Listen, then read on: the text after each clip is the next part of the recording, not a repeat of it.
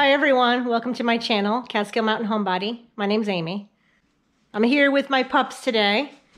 Here's Chipper, and here comes Scout. Say hello, say hi. Say hi to the camera.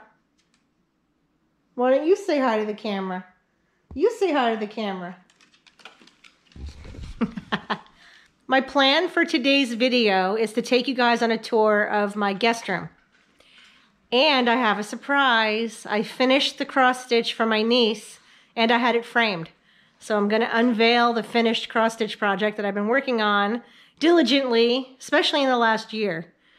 So we're gonna go up the stairs and check out the guest room. What do you think, Chipper? Should we go upstairs and check the guest room out? You wanna go upstairs? You wanna show everybody how you know the word upstairs? Let's go upstairs. Let's go upstairs. Scout, you want to go upstairs? You want to go upstairs? Who wants to go upstairs? Let's go. Come on. If I start walking, you guys have to follow. I'm going upstairs. Who's going to follow me? I'm going to go up. I'm going up the stairs now. I'm going up. Oh, here comes Chipper. Scouty, you going to come upstairs? I'm going to go. Come on. I'm going up. Look, Chipper's coming. Chipper's coming upstairs. Come on, let's go. Yeah, you know how to go upstairs. Chipper's good at going upstairs. Aren't you? You like to come with mommy wherever I go. You're so cute.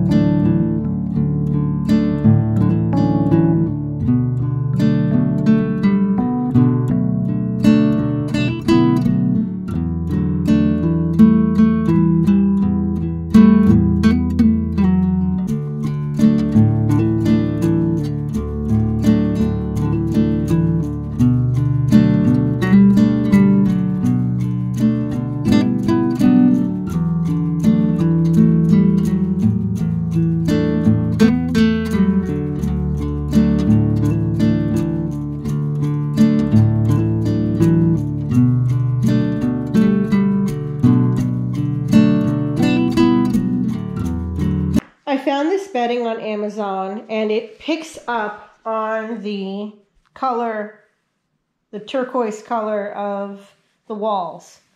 And it has elephants on it, little gray and white elephants. And it comes with, it came with this throw pillow, this pink elephant, and then the elephants continue on to the, to the pillows. And so we have the elephants on the bedding. We have the elephant on the artwork.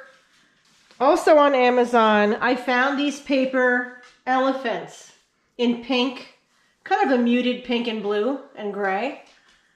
And they're really a decoration for a baby shower, but I thought they would be cute on the windows in this room. And you can see these elephants from the outside of my house, from the street. So all three of the windows in here, I strung up these paper elephants to kind of go along with the elephant theme of the room, which is cute. All right, in the corner, we have the printer. Um, this was the only place it would fit. Joe's office already has too much stuff in it, so unfortunately that's where the printer is. That's okay. All right, this artwork is by Bernard. I think his name is Buffet. I'll put his name in the description of the video. But this was a, piece of artwork that I found in my uncle's house, and I don't even think he had it hung up. I think it was just like stuck somewhere in a closet. And after he passed away, I took it, and it's black and white, and it really kind of looks nice against the, the blue wall. So that's the only artwork I have on this wall here. Okay, the art desk I have had for many years because I like to do art projects. So this is just a basic art desk. It does tilt up if you want to do drawing. I don't really draw though. Um, I do have paints here because I do paint projects. This is an antique lamp that Joe rewired for me that was given to me by my maternal grandmother. And I actually have a matching one, but when I brought it to California, because she gave it to me many years ago, this top piece broke. So I have another lamp with just the base, and I need to find another top piece. But until then, I'm just using it in my guest room. This shelf, which is, I assuming old, was left by the previous owners. They used to have it on the kitchen wall where I have my grandparents' pictures. That's where they had the shelf. And I guess they had extra plates and cups and things on it, or books. Um, I had Joe hang it in here to give me extra storage over my craft desk. So I have my little doodads, pictures, more elephants. There's another elephant. a Capodimonte rose that my parents had that I took when they downsized. A couple banks that were Julius's when he was little, like my Peter Rabbit bank, which matches this room perfectly. I have art supplies and pencils over here. This is a little elephant magazine rack, book rack. These are just some stamps and one of my dollhouse toys. And this plate was left by the previous owners and it has the exact blue color of the walls in it. So I hung it up here and I think it looks really pretty. They also left me this plate. This plate is another antique plate left by the previous owners. And it does, I forget the name of it when you have holes in your plate, but it has holes. And the, the color of this plate, the blue, exactly matches the color of the wall. So it really looks pretty in here. And then on this side, this is the closet. Years ago, when I was in my early 30s, my parents were getting rid of old artwork that we made, which they had piles and piles of our old schoolwork and artwork, my brother and sister and I. So they picked three pieces to have framed, and I think they threw the rest away. And this was the piece that they had framed for me and it's my handprint made into a little plant with my name on some 70s paper. And then my parents had it framed with this cool frame that has different primary colors on it. It's kind of splashed on it. So I hung that in here. I really think it's cute in this room. And that's a good idea of what you can do with your kids' artwork. I did frame one of my favorite pictures that Julius made. And it's in my guest my downstairs bathroom. I have a picture Julius made that I framed. I have other pictures that I put in, in a scrapbook, but a lot of his old school work I threw out because it was just too much. All right, the double doors are the closets. Nothing exciting in there. This is a guest room, so I don't really, I mainly keep wrapping paper and craft supplies in that closet. It's nothing that, nothing too exciting. I have my two pug beanie babies from the 90s. This was a bear that my mother had. It's a in a peach dress, and I thought it was cute, would go well with this room, so I took it when she downsized. Joe made that home sweet home sign, and I painted it to match the color of the wall with some yellow paint also. So that's, again, a couple things. And then I have a little tchotchkes you know, little toys, little doodads that I wanted to display. And so for Christmas a couple years ago, Joe got me this mirrored case. And it has little boxes where you can put your little precious memories. And so I have little old things like my little plastic Monchhichi doll. I have old ornaments, little figurines. And then up here, my grandmother got these little plastic, I think they're called Minikins or Tinykins, and they are of the Flintstones. And you get them, you used to get them in a set, a set of five. And when I was little, my grandmother gave them to me. I think she just had them around. She probably got them in the 60s. They're from the 60s. And I've had them in a box in my closet for years and years. And I thought, you know, I want to display them. So I, I had this that was the main reason why I got this little case, and then I put other little little doodads. Like here's a pin from the '60s of a little boy with like a gift. And that's actually a pin. You can wear it. I don't know who would wear that, but I don't even know where I got that from. Probably from my grandmother. So anyway, and then I bought these metal flowers from Amazon. You can order these in different colors. I ordered a pink one and a white one. And I thought those would look nice against the blue wall. And so that's my little collage there. The shades in here you can either pull down from the top or you can pull them up from the bottom, but I keep them pulled down just to give a little light but not direct sunlight. This is this is the guest room.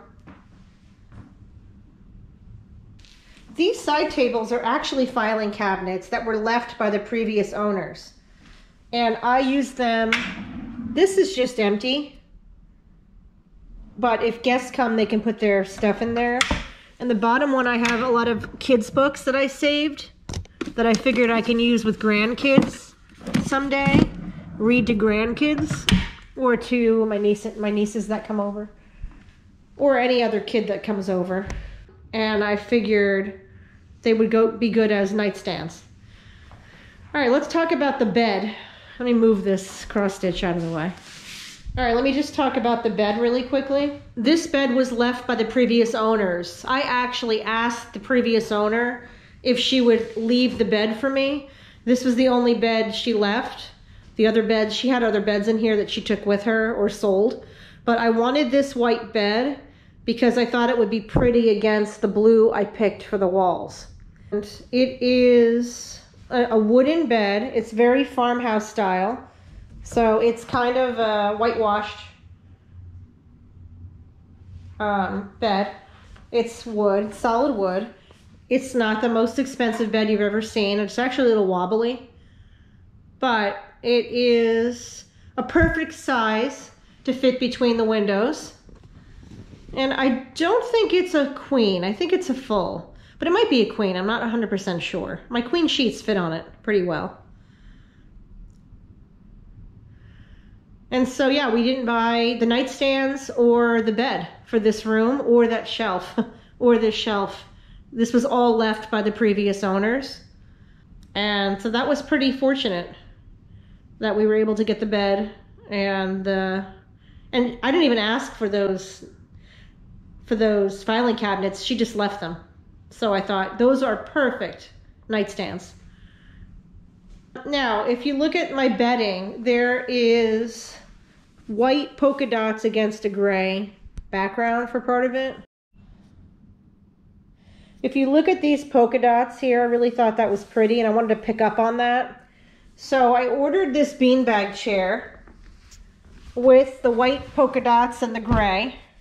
And it's actually not a beanbag chair, it's actually a storage chair. So I have extra bedding in there and stuffed animals that I didn't want to get dusty that I just put in there. You can actually unzip it and stick things in there. So it's storage and an extra little beanbag chair for anyone who wants to sit on it and read a book. And I, again, I kept in mind children in this room because I envision someday that there'll be grandkids staying in here. I also found this little rug in Amazon. A little, again, a white polka dot rug with a gray background that I thought would be cute in front of the bed. And I don't have any other rugs in here. It just has the old wood floor. Someday maybe I'll order more polka dot rugs for the sides of the bed, but for now I don't have any other rugs in here. All right, now that we have had a tour of my guest room, I want to give you an update on my cross stitch project. So let's look at it. I had it framed. All right, so I had this framed at Michael's, which is a craft store with a simple white frame with a little pink border to kind of pick up on the pink of the lettering and also contrast with the purple lettering of her name. So this is a cross stitch I've been working on for a long time for my niece and it has her birth date and how much she weighed and her name. And I'm going to be gifting this to her for uh, probably Christmas with other things. Her sister got one. Her sister got a birth announcement from me years ago. now it was time for her for Megan to get one. All right, I'll put in here the footage of where I started with this cross stitch project so you can kind of go back and see where it was and then you'll see how far we've come. Let's see the progress I made on my cross stitch. So I'll show you that. All right, so first I'll remind you what it's supposed to look like. That's the design.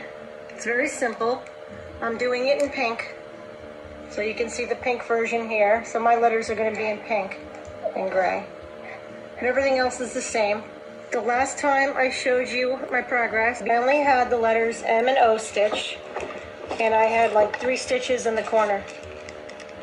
All right, now I have kept my summer my summer resolution to do an hour of stitching every night I have kept that promise since I made it last week.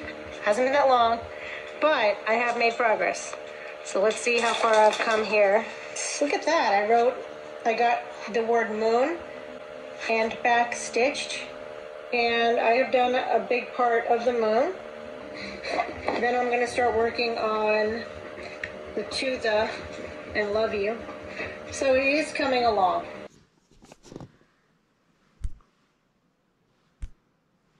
So as you can see, it's come very far and I'm very, very happy that I finished this cross stitch project and it's ready to be gifted.